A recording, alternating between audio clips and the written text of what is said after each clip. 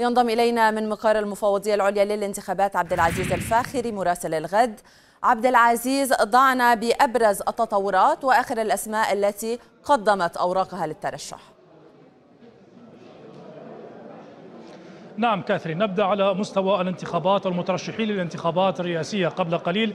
قدم عارف النايض والذي كان يشغل منصب سفير ليبيا لدى دولة الإمارات العربية المتحدة. أوراقه لدى المفوضية العليا للانتخابات عن دائرة بنغازي قبل لحظات كمترشح للانتخابات الرئاسية. أيضا هناك في العاصمة طرابلس ربما شهدنا قبل قليل عن تقديم محمد الشريف كذلك أوراقه للدائرة الانتخابية عن العاصمة طرابلس في انتظار أن يكون هناك إقبال كذلك خلال الساعات القليلة القادمة أو الأيام القادمة مع اقتراب الآن المدة على النفاذ الممنوحة لكل المترشحين للتنافس على منصب رئيس البلاد. ولكن الحدث الفارق والبارز اليوم هو البيان الذي كان منتظرا ومرتقبا من المترشح للرئاسة سيف الإسلام القذافي ربما بمتابعة أهم جاء في هذا البيان حيث دعا المترشح الرئاسي سيف الإسلام القذافي لجميع الليبيين المؤمنين بالتصالح وكذلك المؤمنين بالمجموعة أو بالمشروع الوطني الجامع والتصالحي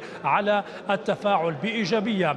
في العملية الانتخابية المرتقبة وعلى جميع كذلك الناخبين التقدم لمراكز الاقتراع واستلام بطاقاتهم الانتخابية بالإضافة كذلك للتأكيد على أن في هذه المرحلة المفصلية والمصيرية من عمر ليبيا تحتاج إلى التكاتف وعلى أن يكون هناك مجهود مضاعف من كل الليبيين. من خلال المتابعة والرصد لهذا البيان يغلب عليه بشكل كبير. طابع ربما الآن التوافق أو محاولة هنا من سيف الإسلام القذافي مخاطبة جميع الليبيين على مختلف توجهاتهم أو انتماءاتهم السياسية أو الحزبية للتوحد حول الآن على ضرورة ووجوب إجراء الانتخابات. وبالتالي الرضا الكامل على من سيكون رئيس للبلاد بناء على إرادة الليبيين والتي تتمثل بالتصويت في صناديق الاقتراع في الرابع والعشرين من ديسمبر المقبل. الآن ننتظر أيضا يكون هناك تحركات من قبل جميع المترشحين حقيقة للرئاسة بيانات ستصدر أيضا خطابات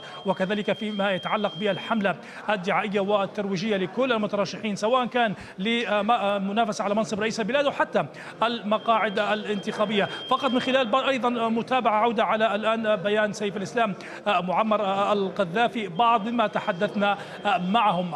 عقب انتهاء أو عقب صدور بيان سيف الإسلام معمر القذافي الجميع يتحدث على أن هذه الخطوة كانت منتظرة وكذلك كانت متوقعة.